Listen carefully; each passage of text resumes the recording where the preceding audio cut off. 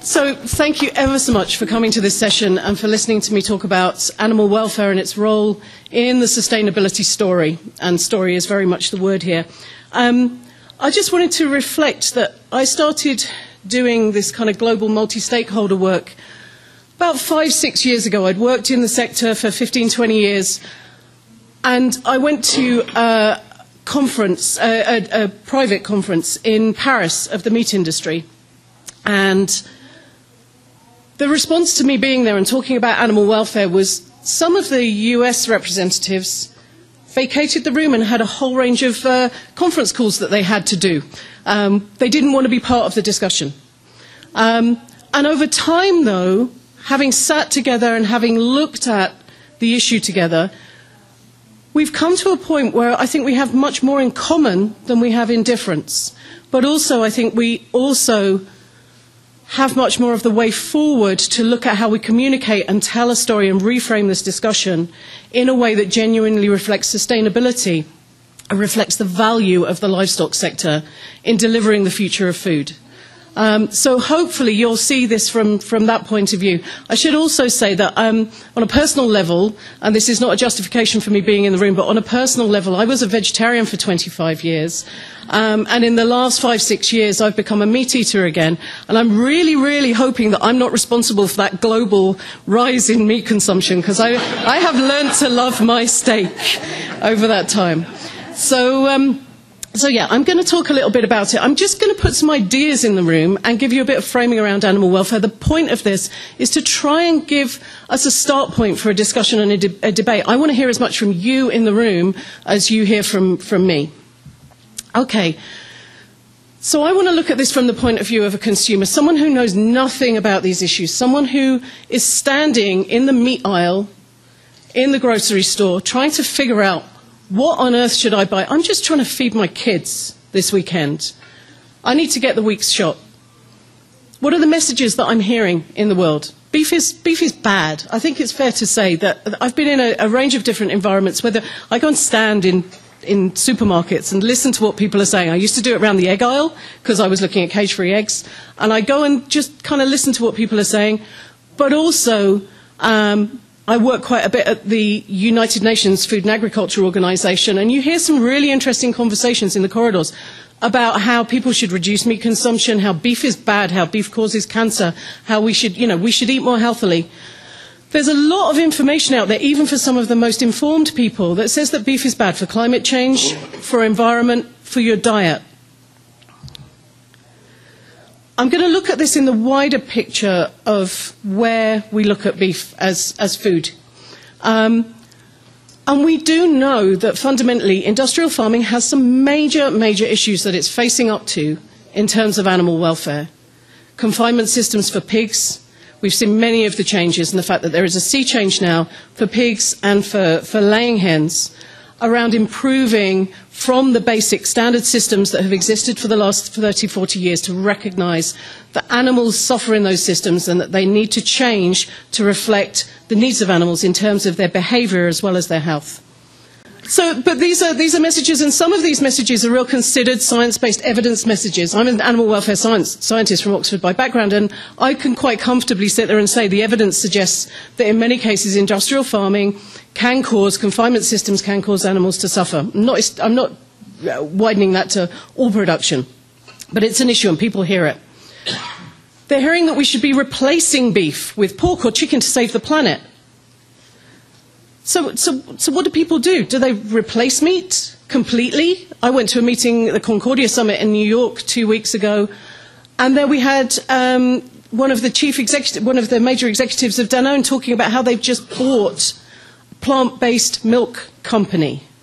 So even a, a milk company in and of itself that's based on that is buying the alternatives companies because they know these are, are real challenges, and that might be where some of the market is. So I see people saying, what do I buy? What do I buy? I need to feed my family, stay healthy. I want safe food, balance the family budget, all good animal welfare, protect the environment, all the things that Crystal raised. So where does animal welfare fit into that picture? So this isn't me telling you what people should think. This is what people tell us they think about it. So the Eurobarometer is a European Commission uh, study that looks at representative samples, thousands and thousands of people across all of the European Union states. Um, and it's done repeatedly. It's been done in, in 2005, I think 2011. and It's done in, again in 2015, published at the start of 2016. And it showed that four in five people want better welfare for farm animals, better than what they have already. And this is the European Union with European legislation. Nearly 60% saying they'll pay more for it. Let's jump to China. So, a place where information is well controlled, where the systems are new, where everything is changing very quickly. 71% of respondents, this was a study that, that was conducted looking at pig production, 71% of respondents consider the welfare of animals of importance in their decision making, and 83% want to see production systems that give pigs the freedom to move, not confined. And three quarters saying they would be willing to pay more. Now, that's a big deal in a country where you have a massively urbanizing but also growing economy uh, where people are going to be eating more of that product but have more opportunity to choose. And people now expressing change in terms of, of wanting to choose retailers who provide higher welfare pork. Now, the thing that's really interesting for me about this is, is there was a study a few years back, and again, it showed some of those concerns that we're seeing here. This isn't a, a Western developed issue solely. 50% being concerned about the overuse of antibiotics, 48% describing the bad taste of industrially farmed products. So there's a real issue here about the information people are getting, but also the perception that they have of what the product is that they're consuming looking at North American research, there's quite a lot of stuff out of North America, and I'm just going to highlight two of the ones that, that are notable. So Norwood and Lusk have done a lot of work around consumer choice and, and farm animal welfare. And they showed a study where 69% of those surveyed, and again it was a representative study in this case, believed that farm animals should not suffer. There was interestingly a notable minority who actually didn't care which I shouldn't tell you, but I'm going to be fronting up about all these things. We don't, we, we're dealing in the real world. Um, a very recent study that looked at young US consumers, and, and I note that because people tried to generalize this, and this is about college students and young US consumers who were given information about different farming systems, saying that factory farmed meat was worth less and people were less willing to buy it. So we have an issue here of how we describe the products that are on the plate and how we describe their components, what, what is in them, how animals have lived to produce them. And David has already talked to us about the Deloitte study, but I think this is really interesting because it does say, and it's this kind of half and half thing of we know for the vast majority of people, price, taste, convenience, value, in other words, and it's serving its purpose for food has been key. But one of the biggest issues that goes across the board now is transparency. People want to know what their product is and where it has come from. And they are increasingly concerned, and particularly millennials, um, are increasing, and they're your future consumers, are increasingly concerned about health and wellness, about food safety, but social impact, including animal welfare. So, what animal welfare do consumers want? Well, we try and look at it as a, as a pyramid. Um, and this kind of represents the scale of production as well. You know, you have a very small number of, of systems um, across the board, across species, that produce, that produce animals in very high welfare conditions. The vast majority are still in, in industrialized systems. And here again, I'm talking across species, so don't sit there and hate me and go, no, my farm doesn't look like this. I don't have anything to do with pigs. This is the world of, of industrial production that, that, that we're working in. So gestation crates, sow stalls, banned now in the EU, and the consumer voice is pushing them away, and the choice editing of retailers and fast food chains is moving away from them and moving away from them faster. And I have been overwhelmed and impressed by the scale at which producers have gone, no, we can see the future, and we're not going to do this. We know that certainly in that Norwood and Lusk study, about 1% of people were expressing, that was in the US, and, and in, in the EU it's much higher, expressing a wish to buy high welfare So free range, outdoor bred, and so on. And where people have the choice and have the motivation and have the information, then that's something they really are moving towards. But that vast majority are looking for a life worth living for those animals in the production chain. So, what does that life worth living mean? Not that they have every creature comfort. I don't have every creature comfort unless I'm at the Fairmont and I'd love to move in and never go away again. And my God, this place is beautiful. Seriously, I wish I'd, uh, I'd decided to stay longer. No, it's not about every creature comfort, but it is about providing systems that deliver for the behavioral, psychological, as well as physiological needs of those animals. So that may be about freedom, that may be about social grouping, that may be about enrichment, but it's effectively what people out there would probably term natural. How is it to be a pig? How is it to be a chicken? What is it to be a cow? There are things that you need that are fundamental to you, not every single thing, but the things that are fundamental to your life that prevent you from experiencing stress. And I think that's the, the, the concept that people have. People want animals to have a life worth living. They don't want to feel guilty. They don't want to feel bad. They don't want to feel dirty. They don't want to think that their foods come from, come from something that they wouldn't want to touch themselves. And it's that middle ground which is the mainstream.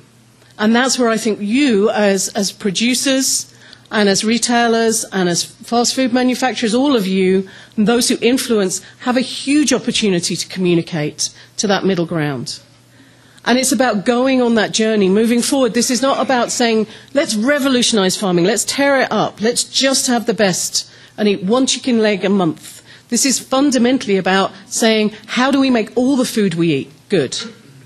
I had a, just as an anecdote, I had a really weird experience about three, four years ago uh, in the UK of um, my son was small and I'd gone travelling, I'd gone out for a day trip with him, and um, it was breakfast time on a Sunday, and I just went, oh, yeah, God gave me his breakfast because otherwise he's going to be screaming at me and it's going to be a hellish day out.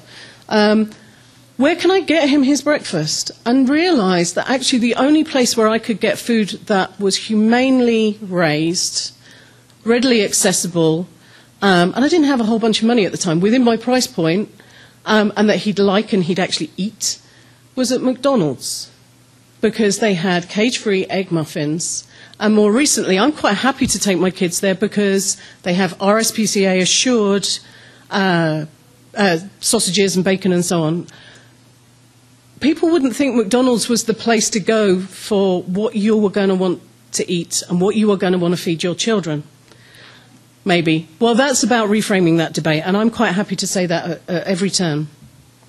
So, what do consumers, how can consumers decide what to buy? This comes back to the discussion how do we best provide good information to people, but not just good information? You know, people don't want to read an encyclopedia about the, their meat shelf when they go shopping. They want to feel comfortable. It's about having assurance schemes that you can trust, that you know that they deliver. It's about having labels that people understand and can identify and, and can tack onto, not 27 labels on the packet, which is what you might end up with, um, but that's probably what they're faced with increasingly, as Crystal says, it's, it's, a, it's, about social media. It's about that deeper information. It's about being able to turn from the shelf to your phone, to, your, to the information. But it's probably also about your Facebook page and your Twitter feed and the bits of communication that are in there. Because I have a, I have a very um, uh, dichotomous Facebook feed. I have everything from the veggie, vegan, environmental side and get all this hideous stuff about how grain to feed beef cattle is being produced on land that has just basically where Bolivian uh, forests have just been burnt down. And I'm still getting that. I got that the day I left. And at the same time, I'm getting these beautiful stories from the Global Agenda for Sustainable Livestock about what companies are moving towards and about some of these new, new systems. That's my feed. Some people will be, I think there was a thing last week about Facebook's confirmation bias. You hear what you want to hear. Um, so, how do we engage with that? People need to trust the brands that they're involved with. And these brand commitments, if you live up to them and you deliver them, raising the bar, as long as you raise the bar far enough, are a surefire way of being able to demonstrate that commitment towards improvement. And I think also what it does is it kind of vaccinates you against some of the things that you can't always move forward right on now. People know you're going in the right direction. People know you're committed. And certainly the business benchmark for animal welfare is a really interesting thing to have a look at, bb4.org, where it's an independent survey looking at what companies are doing in terms of policies, reporting and performance on farm animal welfare. And we've seen a big jump, but it's a big jump from a very, very low base over the last three, four years. But it's worth a look to see how companies are raising the bar, not just in terms of commitments, but in terms of, of action, right through to board level. I'm going to just raise this one, um, partly because I'm very proud of it, and I'm also still really surprised of it, with it.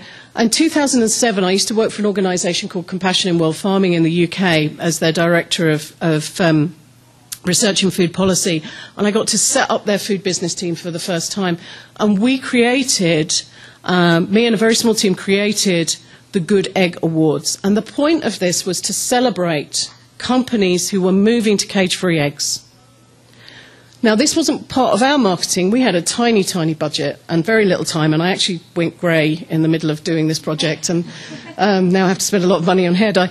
Um, but, um, but the thing that was really interesting here is that companies got behind it. McDonald's was one of our first champions, um, one of our first good eggs. Um, Unilever went from being, no, I don't want to engage, to we're transforming our global supply chain. And this was a piece of marketing that they did to talk about their products and their positioning around moving to cage free eggs. It wasn't earnest, it wasn't information. We're good guys because we're doing this. And the reason I mention this now, because this is old news, it's 2007, is because we're seeing this specific move on cage free eggs roll through Europe roll through North America, roll into Asia. And this is where it's going. And this is cage free eggs, and everything else is going to go the same way. Animal welfare is not a point of contention, and maybe shall we have it's fundamentally part of the picture. And so I'm just going to move back to cattle. Why do we have a problem? Maybe we have a problem because the image in people's heads is that feedlot that I showed you in the first place. I just pulled that, I, I actively just pulled that off the internet because that's what people see. I had the opportunity to go and see silvopastoral Systems in Colombia as part of a project where we were looking at the economics, the productivity, the environmental impact, and animal welfare together and building a strong evidence base. That's why you've got a nice little graph here. Um, but by God, this is one of the most photogenic cows in the world. Um, and it was beautiful, absolutely beautiful. And they have managed through um, delivering systems that, that have all these components through silvopastoral systems to increase their productivity tenfold and to move from loss to profitability in the long term. So there are good stories to tell here. I think the challenge you're going to have is while there are still bad stories to be told, that's going to taint everybody. So raising that bar to a point where everyone can feel comfortable and it matches people's concerns is going to be really key. So, how do consumers decide? Who do you trust? Do you trust your friends who've sent you a link? Do you trust the press? Do you trust brand communications generally? I think people often say no. Do you trust third parties? Often we as NGOs um, will be seen as arbiters. Do you trust no one and just put your hand over your eyes and reach out for the soy milk? So, what can we do? We've talked about assurance, transparency, labels, information we need to attend to consumers' concerns. Consumers genuinely are concerned. Those concerns are not going to go away. We can help people understand how to engage with them, but they're not going to go away. Raising that bar and having clarity of commitments and celebrating those is really key. And having those allies to stand around you and celebrate what you've done. Telling stories, we've talked about that a little bit this morning, but provenance really plays out. You guys have incredible stories to, to, to tell. And I think this piece of reframing the ba- debate is fundamental. Now, I wrote down three words that inspired by David this morning. One adjective, I think, and two verbs. I had to go and check, to, check it was an adjective. Um, the first is responsible.